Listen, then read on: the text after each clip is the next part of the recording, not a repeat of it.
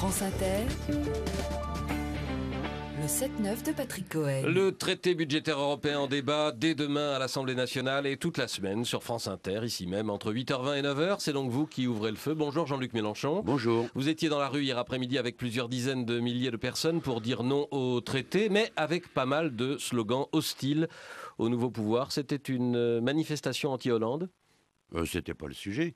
Sur ce dossier euh, du traité européen, clairement, euh, nous sommes dans, dans l'opposition au traité.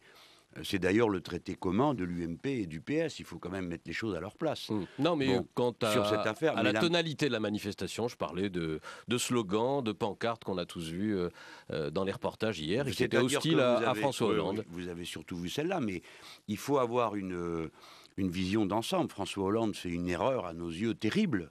Et, euh, en, signant ce traité, qu'il avait euh, voulu renégocier, disait-il. Il est incapable de nous dire quelle ligne, quel adjectif, quel verbe il a pu faire changer depuis que le traité a été signé par Nicolas Sarkozy. D'ailleurs, la droite se moque de lui en disant mais on est très content. hein.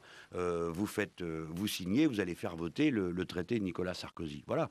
Alors après, c'est pas quand même ça le plus important. C'est important, hein.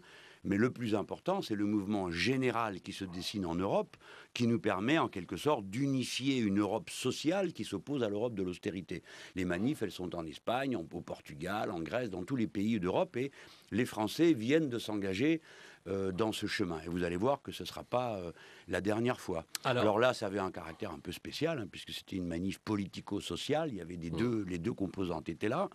Euh, mais là, la semaine prochaine, euh, ce sont les, synd- le- les syndicats qui marchent devant, puisque la, la CGT commence euh, un cycle de mobilisation. Voilà, c'est un phénomène européen qui, en France, évidemment, prend une tournure spéciale du fait que le gouvernement euh, s'était engagé à renégocier le traité, qu'il ne l'a pas fait. On va parler un peu plus tard de vos relations ou de votre regard sur euh, le gouvernement, son action, le budget, euh, mais je voudrais qu'on parle du, du fond du Oui, traité. sinon, Vous, vous dénoncez, Jean-Luc Mélenchon, l'austérité, mais le traité stricto sensu n'impose pas l'austérité, il impose la discipline budgétaire.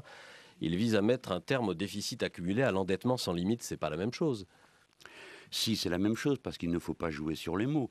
La situation actuelle est celle d'un endettement euh, des États, qui n'est pas aussi euh, monstrueux et excessif que ce qu'on en décrit. Ça veut dire qu'on pourrait l'accroître.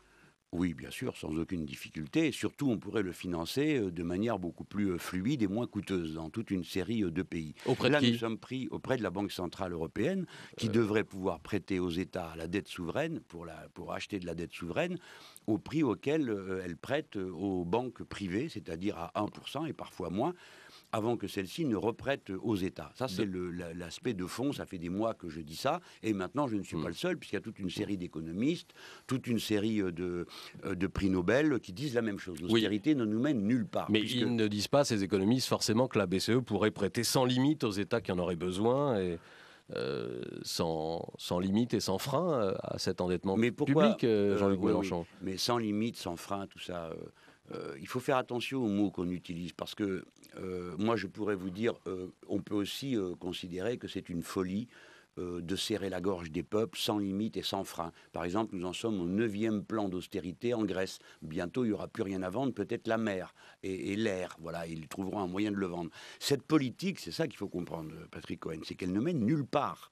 Euh, tous les pays entrent en récession et comme les uns sont les clients des autres, euh, bientôt les Allemands aussi vont être atteints et ils, entreront en récession comme toute l'Europe entrera en récession parce qu'il n'y a aucun mystère sur ce sujet. Le- les politiques qui sont appliquées, les politiques d'austérité, de contraction de la demande publique, nous conduisent tout droit au désastre. Ce n'est pas une hypothèse, c'est une certitude, car il n'y a pas d'exemple qu'un seul pays se soit redressé grâce aux politiques d'austérité. Tous se sont enfoncés. Alors à partir de là, que fait-on? On regarde et on continue à avoir un, un raisonnement étroitement comptable en se disant ah bah, nous allons rétablir l'équilibre. Entendez ce qu'a dit euh, François Hollande. Euh, il, euh, il a l'intention de rétablir l'équilibre absolu, c'est-à-dire arriver au point zéro, en dessous même du déficit structurel prévu par le traité en 2016. C'est-à-dire qu'il va s'opérer une ponction gigantesque sur l'économie de notre pays, car en France, c'est comme ça. Le premier investisseur, ce sont les collectivités locales et l'État. C'est comme ça en France. Vous pouvez le regretter. Euh, euh, moi, je connais la raison pour laquelle les entreprises privées n'investissent pas plus qu'elles ne distribuent de, dividendes, mais c'est en fait, c'est comme ça en France. Donc, par conséquent, nous allons au désastre. Voilà ce que rétablir l'équilibre, à vos yeux, ça n'est pas une nécessité, un impératif et un objectif. Je prends un exemple. Sur la, si par hypothèse le gouvernement avait proposé non pas 20 mais 50 milliards de hausse d'impôts sur les entreprises et les plus riches, sans couper dans les dépenses et tout en respectant les 0,3%, vous auriez applaudi ou pas? Et bien sûr, mais de quoi parlons-nous? De, vos rêves ou des réalités? Non, je parle de la différence entre l'austérité que vous dénoncez et l'assainissement budgétaire, la réduction des déficits qui est prévue dans le traité européen. Oui, oui.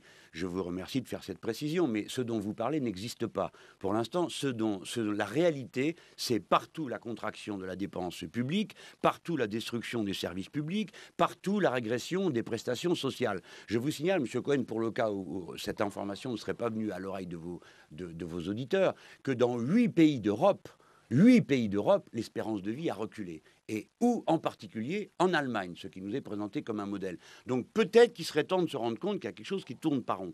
Alors l'équilibre des comptes publics et l'austérité, ce sont deux choses différentes, mais ce dont nous parlons aujourd'hui, ce qui est mis en œuvre aujourd'hui, c'est l'austérité, avec en vue l'équilibre des dépenses publiques. Mais, Monsieur Cohen, vous, moi, nous savons parfaitement à cette oh. heure que l'équilibre des dépenses publiques ne sera pas atteint par la politique d'austérité. C'est le contraire qui va se passer. C'est-à-dire que les déficits vont se creuser parce que quand on contracte la demande publique, l'investissement privé ne prend pas le relais et donc les déficits se creusent, donc les coûts sociaux augmentent du fait du chômage et du fait des maladies et de tout ce qui se répand dans la société. Ce que je dis est en train d'avoir lieu en Grèce et en Espagne. Et si le vieux continent qui, du fait d'erreurs déjà de grands génies économistes qui avaient la même vision dans les années 29-30, ne comprend pas la nature des risques auxquels on s'expose quand euh, on soumet des millions de femmes et d'hommes à une politique de cette nature, c'est que vraiment l'histoire ne nous apprend rien. Moi, elle m'a appris, c'est pourquoi je réagis. Donc, dans votre esprit, je poursuis mon raisonnement, euh, il faudrait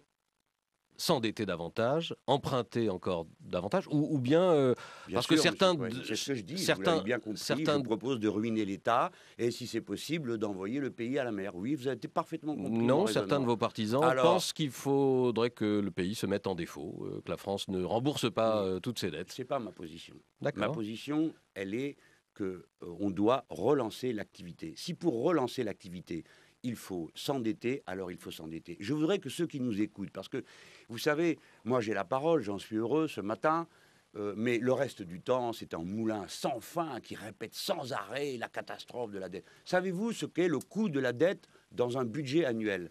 C'est 49 milliards d'euros. Mmh. Combien produit la France?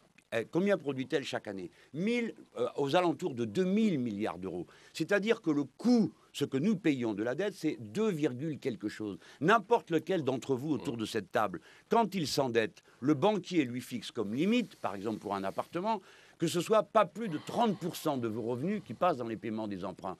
30%, pas 2,5%, 30% c'est une, la situation comptable aujourd'hui est absurde. On compare un flux à un stock. C'est-à-dire que l'on prend le total du stock de la dette, le total, comme vous le feriez pour tout ce que vous devez, vous, monsieur Cohen, qui avez acheté votre appartement, tout ce que vous devez à votre banquier, on le rapporte à votre revenu d'une année. C'est un mode de comptabilité absurde. Il faudrait le, le rapporter à la somme totale de ce que vous allez gagner pendant la durée de votre prêt. Si donc nous rapportons ce que la France doit à la somme totale de ce qu'elle va produire pendant la durée moyenne de la dette, alors on constatera que la France est endettée pour même pas 12,5 ou 13% euh, du total de la richesse qu'elle produit, c'est-à-dire quelque chose qui est tout à fait supportable. Maintenant, si vous voulez soi-disant mourir guéri, je vous informe que vous ne pourrez pas mourir guéri, vous mourrez malade car l'austérité engendre l'austérité et rien d'autre. Voilà la vérité économique. Un mot de la situation. Ça veut dire, euh, des, Monsieur Cohen, ça veut hmm. dire que là, à la fin de l'année, il y aura plusieurs centaines de milliers de chômeurs de plus. Il y aura plusieurs dizaines de services euh, hospitaliers de fermer. Il y aura des centaines et des centaines de services publics qui vont euh, fermer. Voilà ce qui va se passer. Et après, on va m'expliquer que c'est comme ça qu'on rétablit l'équilibre des comptes. Bien sûr que non. Donc les parlementaires du Front de gauche voteront contre le budget au Parlement? Vous leur demanderez, ils ont deux présidents, euh, André Chassaigne et, Eliane Assensi. Ah bon, c'est pas forcément non Ben, C'est-à-dire que c'est les groupes qui décident, puis il va y avoir un débat. Non, Vous mais- êtes terrible, vous. Peut-être que dans le débat, la raison euh, va s'emparer de nos interlocuteurs. Vous savez, le débat, il va durer jusqu'à la fin du mois de novembre. Monsieur Cohen, quelqu'un autour de cette table est capable de me dire que d'ici au mois de novembre, euh, la vie en Europe va être un long fleuve tranquille, que l'Espagne ne va pas faire défaut, que l'Italie ne va pas faire défaut. Il y en a pour combien en Espagne? 790 milliards au total de dettes. Ils doivent encore faire rentrer quelque chose comme 70 ou 100 milliards d'ici décembre prochain. Alors, mes amis, qu'est-ce qui va se passer? Donc ça n'est pas écrit. eh ben, ça veut dire que d'ici à la fin du mois de novembre, Mm. vous allez avoir des débats extrêmement vifs en Europe. Parce que la situation ne doit pas s'analyser dans un seul pays. Elle doit s'analyser par rapport à, à l'ensemble de ce qui se passe en Europe. À propos de débats très vifs, euh, vous avez euh, quelqu'un en ligne de mire, c'est le Premier ministre Jean-Marc Ayrault. Alors là, euh, j'ai lu sur votre blog, impayable Jean-Marc Ayrault qui ne cesse de mentir, qui va chercher ses arguments chez Le Pen, un homme qui ne lit rien, qui ne connaît rien, un incapable, sauf à faire des phrases contre les personnes. Il y a un grand problème avec cette gauche sectaire et Ayrault est une bonne partie du problème. Qu'est-ce qui vous a fait Jean-Marc Ayrault? Bah, euh, précisément, depuis le début, vous aurez observé que c'est le mépris. Euh, il ne parle à personne, en tout cas, euh, il ne s'adresse pas à moi en particulier, parce Ah que bon? vous parlez de moi. Hmm. Non, mais attendez, si, il s'adresse à moi, laissez-moi finir, monsieur Cohen, avant de vous réjouir. S'adresse à moi pour me dire. Non, mais il est jubile, vous savez, c'est le truc du journaliste. Quand le train s'a- s'apprête à dérailler, aussitôt, il, a, il devient tout rouge, il fume, des, il sort des, des jets de fumée Non, des, oreilles. hein. Bon, alors, calme. non, mais le, le- le- pour l'instant, voilà ce qui s'est passé, Monsieur Cohen. J'ai interpellé le Premier ministre. Je pense que je suis euh, en état, je suis un interlocuteur, je ne dis pas très important, juste parmi ceux qui ont euh, provoqué la défaite de Nicolas Sarkozy. Et on pourra se souvenir, mais je ne veux déranger personne, hein, que euh, 4 millions de Français ont pensé que c'était utile de voter pour moi et de suivre l'idée qu'au deuxième tour, il fallait battre Nicolas Sarkozy et de faire élire François Hollande. Il me semble que ça, vaut au moins le- comment dire, le, le, le statut d'interlocuteur. hein. Quand je pose une question, pour par courtoisie, me répondre. J'ai posé des questions à propos du traité et surtout de ce qui s'était passé pendant les vacances, parce que, et de ce qui continue à se passer, c'est que ce gouvernement ne marque aucun rapport de force avec le capital, ce qui est une erreur. Et qu'est-ce qu'il a répondu, Monsieur Hérault Euh, Fort de toute sa brillance intellectuelle, que je n'avais même pas été élu président de la République, ni même député? Voilà la réponse. Et depuis, c'est tout. Ce qui n'est pas inexact. Oui, vous avez raison, Monsieur Cohen. Vous avez tout à fait raison. Vous-même non plus, vous n'avez pas été élu Non, président de la République je ni député. dans le Qu'est-ce que vous faites là derrière ce micro Mmh. Dites-moi, Mmh. dites-moi. Vous n'êtes même pas euh, capable, digne de parler à Monsieur Hérault. Vous vous rendez pas compte Voilà, oui, oui. Bon. Et, ah, ça, c'était la bonne réponse, Ouais. Monsieur Guetta. C'était ça, mais Bon. euh, Cohen a été un peu pris de Donc ce que vous reprochez à Jean-Marc Ayrault, c'est euh, son Le mépris à votre Non, égard et le fait qu'il ne réponde pas à vos Je interpellations. pense que dans la vie démocratique, pour que la démocratie fonctionne, il faut qu'il y ait du respect, donc de l'échange et donc de, de l'écoute. Quand Mm. euh, euh, Jean-Marc Ayrault dit les lignes ont bougé à propos du traité, il a fallu deux mois et demi de journalisme qui le harcèle pour qu'il finisse par dire ce n'est pas vrai, le texte est le même. Donc vous avouerez qu'on aurait gagné du temps s'il avait accepté le débat auparavant. Donc oui, c'est clair, Jean-Marc Ayrault est un problème dans la mesure où il ne parle à personne et qu'il refuse d'entendre, mais simplement la courtoisie de pouvoir échanger.